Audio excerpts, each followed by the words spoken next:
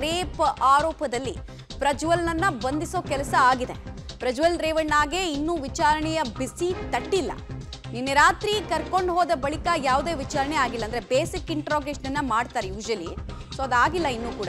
ಏರ್ಪೋರ್ಟ್ನಿಂದ S I T ಕಚೇರಿಗೆ ಬರೋ ವೇಳೆ ಪ್ರಜ್ವಲ್ ಮೌನಕ್ಕೆ ಶರಣಾಗಿದ್ರಂತೆ ಮೌನದ ಆಭರಣವನ್ನು ಧರಿಸ್ಕೊಂಡ್ಬಿಟ್ಟಿದ್ರು. ಮೂವತ್ತು ಕಿಲೋಮೀಟರ್ ಕ್ರಮಿಸಿದ್ರು. ಜೀಪ್ನಲ್ಲಿ ಮೌನವಾಗಿದ್ರು.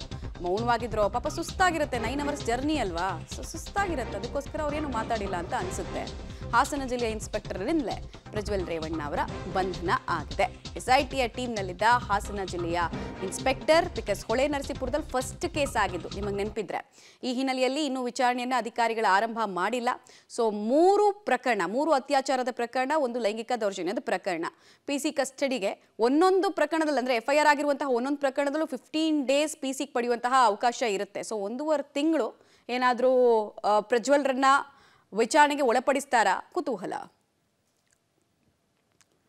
ಡೀಟೇಲ್ಸ್ ಕೊಡ್ತಾರೆ. ಮುರಳಿ ಮುರಳಿ, ಪಾಪ ಪ್ರಜ್ವಲ್ ಅವರು ನೋಡಿದ್ರೆ ಒಂಬತ್ತು ಅವರ್ ಜರ್ನಿ ಮಾಡಿ ಬಂದಿದ್ರು. ಹಿಂಗಾಗಿ ಜೆಟ್ ಲ್ಯಾಗು ಅಥವಾ ತುಂಬ ಟ್ರಾವೆಲ್ ಮಾಡಿ ಸುಸ್ತಾಗಿದ್ರು ಅನ್ನೋ ರೀತಿ ಏನಾದರೂ ಅಧಿಕಾರಿಗಳಿಗೆ ಕಾಣಿಸ್ಕೊಂಡ್ರ? ಆ ಕಾರಣಕ್ಕೋಸ್ಕರ ಬೇಸಿಕ್ ಇಂಟ್ರಾಗೇಷನ್ ಕೂಡ ಆಗಿಲ್ವಾ? ಸ್ವಲ್ಪ ಲೀನಿಯನ್ಸ್ ಏನಾದರೂ ಕೊಟ್ಟಿದ್ದಾರಾ ಸಂಸದರು? ನೋಡೋಣ, ಒಂದು ಸ್ವಲ್ಪ ಅವ್ರು ಸುಧಾರಿಸ್ಕೊಳ್ಳಿ, ವಿಶ್ರಾಂತಿ ತಗೊಳ್ಳಿ ಅಂತ ಹೇಳ್ಬಿಟ್ಟು ಇನ್ನೂ ಮಾಡಿಲ್ವಾ? ಏನು ಕತೆ? ಅಂತ ಏನಂದ್ರೆ ನಿನ್ನೆ ರಾತ್ರಿ ಸರಿಸುಮಾರು ಎರಡು ಎರಡು ಮೂವತ್ತಾಯ್ತು ಎಸ್ ಐ ಟಿ ಕಚೇರಿಗೆ ಬ ಕರ್ಕೊಂಡು ಬರಲಿಕ್ಕೆ. ಆ ಹಿನ್ನೆಲೆಯಲ್ಲಿ ಅವರನ್ನ ಹೇಳಿಕೆಯನ್ನು ಪಡ್ಕೊಳ್ಳುವಂಥ ಪ್ರಕ್ರಿಯೆಗೆ ಯಾವುದೇ ರೀತಿಯ ಪ್ರಯತ್ನಗಳನ್ನು ಎಸ್ ಐ ಟಿ ಅಧಿಕಾರಿಗಳು ಕೂಡ ಮಾಡಿಲ್ಲ. ಇವತ್ತು ಬೆಳಗ್ಗೆ ಒಂಬತ್ತು ಗಂಟೆ ನಂತರ ಹೇಳಿಕೆಗಳನ್ನು ಪಡ್ಕೊಳ್ಳೋ ಒಂದಷ್ಟು ಪ್ರಯತ್ನಗಳನ್ನು ಮಾಡ್ತಾರೆ. ಪ್ರಯತ್ನಗಳನ್ನು ಮಾಡಿದ ಬಳಿಕ ಅವರನ್ನು ಮೆಡಿಕಲ್ ಟೆಸ್ಟ್ಗೆ ಹಾಜರುಪಡಿಸಿ, ಅದಾದ ನಂತರ ನ್ಯಾಯಾಧೀಶರ ಮುಂದೆ ಹಾಜರುಪಡಿಸಿ ಪೊಲೀಸ್ ಕಸ್ಟಡಿಗೆ ಪಡ್ಕೊಳ್ಳೋ ಒಂದು ಪ್ರಯತ್ನಗಳನ್ನು ಮಾಡುವಂಥದ್ದು.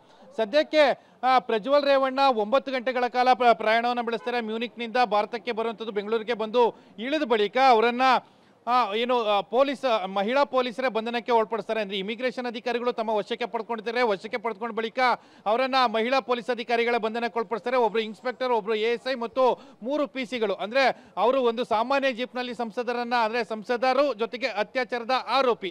ಅವರನ್ನ ಕರ್ಕೊಂಡು ಬಂದು ಈಗ ಎಸ್ ಐ ಟಿ ಕಚೇರಿಯಲ್ಲಿ ಇಟ್ಟಿರುವಂತದ್ದು ಎಸ್ ಐ ಟಿ ಕಚೇರಿ ಇಟ್ಟ ಬಳಿಕ ಒಂದಷ್ಟು ಹೇಳಿಕೆಗಳನ್ನ ಪಡ್ಕೊಳ್ಳುವಂಥ ಪ್ರಕ್ರಿಯೆಯನ್ನ ಪ್ರಾರಂಭ ಮಾಡಬೇಕು. ಬಹುತೇಕ ಒಂಬತ್ತು ಅಥವಾ ಹತ್ತು ಗಂಟೆ ನಂತರ ಆ ಪ್ರಕ್ರಿಯೆ ಪ್ರಾರಂಭವಾಗುವಂಥ ಸಾಧ್ಯತೆಗಳು ಕೂಡ ಹೆಚ್ಚಾಗಿರುವಂಥದ್ದು ಮಮತಾ.